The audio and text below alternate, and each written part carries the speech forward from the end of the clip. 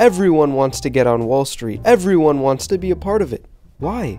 Well, it is one of the few places where a young, innocent kid from a small town, humble upbringings, can go to the biggest city, to the financial center of the world, where all money travels through, and make millions before their 25th birthday.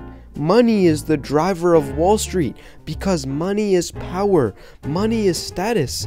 But as evidenced by history, that driver, money, can also lead to greed, corruption. So, why is Wall Street corrupt? Why does it face its fair share of insane billion dollar fines, convictions, and scandals?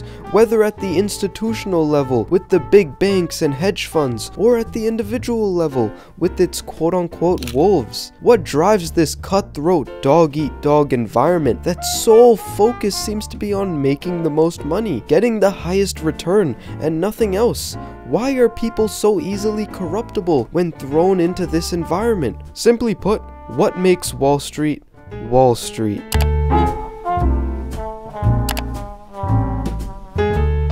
Why do people want to work on Wall Street? Is it because they love analyzing company financials and creating DCF valuations on them? Is it because they love 100 hour work weeks? Or is it because they love studying loads of technical definitions and memorizing a plethora of formulas and ratios to then use to analyze a bunch of numbers and charts? No, I mean, it's all about the money. Sure, you may be one of the few who actually enjoys the tasks that come with a job on Wall Street. More power to you. But most people work on Wall Street because that's where the money is. That's how you make a ton of money fast. Money is the main motivation on Wall Street. You take that high paying salary and potential for lucrative bonuses and promotions out of Wall Street, the majority of people are leaving. No one's working 70 to 100 hours per week for $50,000. It's all about the money.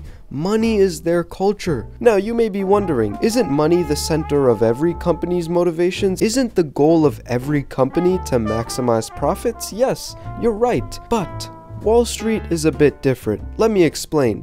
Companies like Amazon, Apple, your local Italian restaurant, they need to improve a product or service to make more money. A product or service that improves consumers' lives. Their profits are determined by how much value they provide to consumers, which is the way it should be. And Wall Street is the same way.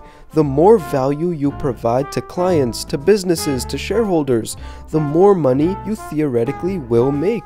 But they have one aspect that makes it quite different where Amazon, Apple, and your local Italian restaurant make money from their delivery and streaming services, their technology products, and their pizza and pastas, the way Wall Street makes more money is through higher returns, making money from money. The way you survive, the way you thrive on Wall Street is by getting the highest returns and by any means necessary, as long as the SEC doesn't find out. The higher returns are what unlocks those eight figure bonuses. The higher returns are what skyrockets your stock price. The higher returns are what gets the elite to invest their money with you. Everything is about making more money than the next guy and using that status to attract even more money. Wall Street's money comes from money. You're at the root of wealth creation, and your main objective is to get a seat at the big boy table by any means necessary. Your clients don't care how you do it, how you get your returns. They just want to see their money multiply. They just want to see that 9% return on their statements at the end of each year. It's cutthroat out there kill or be killed, and ethicality quickly gets thrown out the window. Because if your competitor earns a 9.25% return while you earn 9%, everyone's investing with your competitor. No questions asked, you're going to be left behind. But let's say now your competitor, who's also trying to move up the ranks and make a boatload of money, were to cross the line break the law, and engage in insider trading, stock manipulation, pump and dumps, or price fixing to create a massive competitive advantage over you and any other competitors. And they end up with a 12% return after the fact, while you're playing everything by the books to get your mere 9% figure. Well, if you don't match them or exceed them, you're done. You're out of business. You won't get as many people to invest with you. You won't unlock those lucrative bonuses. You won't be able to move up in the ranks. Meanwhile, your competitor now starts to move up within the company and they get promoted to senior account executive within the investment banking part of your firm. A position you so desperately desire, a position that you put in 100 hours per week to obtain. And now you're thinking to yourself, if they were able to get away with it and achieve everything that I dream of and work so hard for, get the position and salary that I want, well, maybe I have to take that risk as well. If they did it and got everything that they wanted, then maybe I should too. So if you want to compete, you will have to do a little insider trading as well, just this one time. But as we all know, once you cross that line, one time becomes a regular occurrence, and a regular occurrence now becomes a part of your investment strategy. And it's a domino effect because the next guy will see what you're doing and follow you up due to the same fear of being left behind. They'll emulate what you did to reach the status that they also want. And now you're all playing the game of cat and mouse with the SEC, trying not to be the loser who gets caught. Now look, this may seem like a broad generalization to you. I mean, not everyone is insider trading and manipulating stocks on Wall Street? Sure, but once you start to get into those high seats at the table, once you start making conversation at the elite table, this is very much happening because the game of Wall Street is about attracting the most money to your fund, to your bank, and you do that through creating the highest returns. That's where the billions of dollars are going. Playing it safe and by the books only gets you so far on Wall Street, especially if you desire to get to the top and to make the big bucks. Look, once one person crosses that line to gain an advantage over others and to earn a higher return on their money, everyone else will follow to compete. And that mindset, that approach, especially from the top, from the elite on Wall Street, trickles down because as stated earlier, the main motivation of people entering into Wall Street, the main reason why people work day and night there is for the money, the power, the status. So if the top dogs, the leaders on Wall Street are doing it, then you have to do it as well if you want to keep up, if you want to reach their status, if you want to sit at their table, if you want to make their money. That's the underlying root mindset, and that's where we see the corruption start to happen. Now, can this culture change? Can we improve Wall Street to prevent corruption? Or is it a culture where once you get into it, there's no going back? You become a part of it, where Wall Street changes you. You don't change Wall Street. Well, here's where it gets interesting.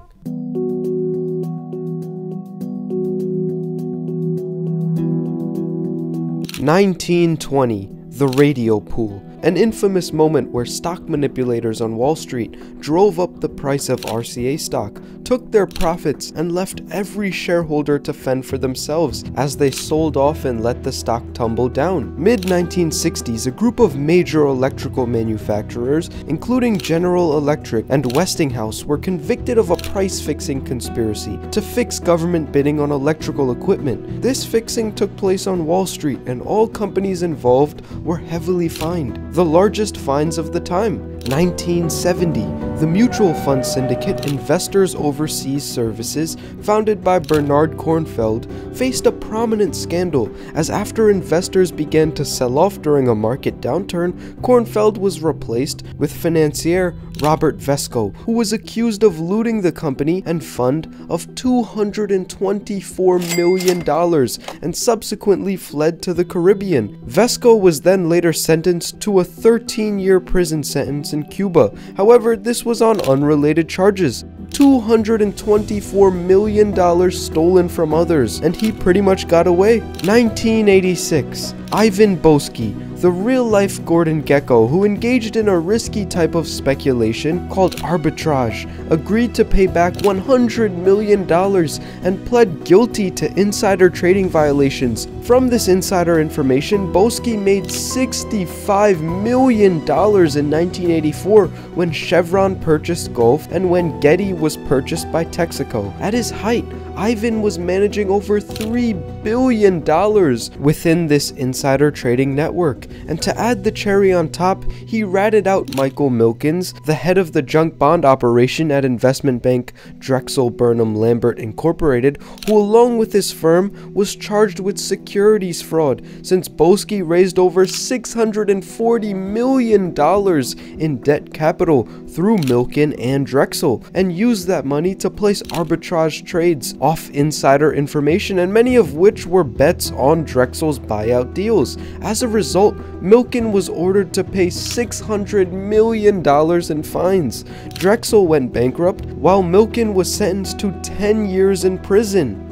1999 Martin Frankel, a Connecticut money manager, was arrested after a four month international manhunt where he was accused of stealing more than $200 million from insurance companies within five states and then using that money to buy mansions, cars, diamonds, and gold. 2009 $5 trillion in pensions, real estate value, savings, and bonds simply disappeared. 8 million people lost their jobs, 6 million lost their homes, and those figures are just in America. The entire world fell into economic depression due to the big banks and Wall Street's lack of care and remorse when it came to giving out extremely levered loans to unqualified, unsuspecting people since it earned them a boatload of money and commissions. Then, when everything collapsed, the big banks took all of that money and wrote out humongous 8 9 figure bonuses to upper management and lobbied Congress to kill any big reforms. Only one banker was arrested through all of this, and during this same time as the economy collapsed and everyone started to scramble and make calls for their money back, Bernie Madoff was caught and arrested, a man who ran one of the biggest Ponzi schemes to date $65 billion from tens of thousands of unsuspecting individuals. Retirement funds, inheritances, trusts, and savings were completely wiped out. Bernie lived a high class billionaire lifestyle while his victims lost everything they worked for, a common theme of the 2009 financial crisis. Additionally, another scandal resulting from the 09 crisis came in 2011 with Raj Rajaratnam, former manager and founder of the Galleon Group, a multi-billion dollar hedge fund. He was one of the 400 wealthiest Americans at his peak, but all of a sudden, to everyone's surprise, it turns out his wealth came from insider trading. He was caught on wiretaps, offering people $2 million for this inside information, and in the end, he finally got caught from those wiretaps, the first ever use in white collar crime, and he was personally fined $92.8 million and had to forfeit another $53.8 million, along with an 11 year prison sentence. And even more recently, in September of 2016, Wells Fargo, widely regarded as one of the most trustworthy banks in the industry, was exposed for their high pressure work environment that resulted in 2 million unauthorized accounts being created without customer consent to pump up their numbers, commissions, and stock price. Then, after a total of $3 billion in fines and numerous convictions, the CEO, John Stumpf, fired 5,300 employees, labeling them as, quote, a few bad apples within the company who didn't respect its values. And yet, shortly before all reports of the investigation went public, Stumpf resigned and walked away with $130 million. These are just a handful of scandals on Wall Street from as early as the 1920s to just several years ago. Billions of dollars in fines, billions of dollars in fraudulent earnings, billions of dollars in wiped out retirement accounts and savings, and these are just a few of the scandals. These are just a handful of the people and institutions who got caught. Imagine everyone else who got away with it and still continues to get away with it to this day. This culture, this identity of fraudulent and corrupt activities of the highest magnitude has been a part of Wall Street since its founding, from large institutions to individuals, which is interesting because usually culture changes as new leadership comes in. But corruption and scandals such as those stated previously have been occurring throughout Wall Street's history, through numerous leadership changes and numerous decades and continues to go on to this day. Thus comes the question, Does Wall Street change you? Is Wall Street's cutthroat culture so embedded within its roots that you simply can't do anything to change it? Instead, it changes you? It indoctrinates you? Well, I said earlier, the culture of Wall Street revolves around who creates the biggest bag. Because that's who, for lack of a better term, everyone kisses ass to. If the top earners tell you to attend this party, you better go. If they tell you to stop being a baby and to snort that line of coke, you better do it. If they tell you to pass them some insider information, you have no choice but to say yes. You need to kiss their ass and be in good terms with them if you want to move up the ranks and reach their status. Otherwise, if you say no, the next guy will come in and take your place instead, and you'll be left behind. If you want money, power, and status, you need to go and get it by any means necessary. Wall Street truly is an intriguing place. I mean, are the people that commit these white collar crimes corrupt even before they step foot on Wall Street? And it's just that the money and status that Wall Street provides them with then just increases the magnitude of their corruption? Or is Wall Street, the chaotic culture of Wall Street, and their sole focus on making money by any means necessary, the factor that turns people into these corrupt individuals who cause billions of dollars worth of damage and loss? Whatever the case may be, you simply cannot deny the facts and the history that Wall Street has its fair share of scandals and chaos, to say the least, at a rate much higher than any other industry, and it's been occurring ever since it was first founded. That one street is home to a trillion dollars worth of scandals and fraud, and that figure is only from what has been exposed and uncovered to the public. Imagine all of the other trillions of dollars worth of crime and fraud happening behind closed doors right now.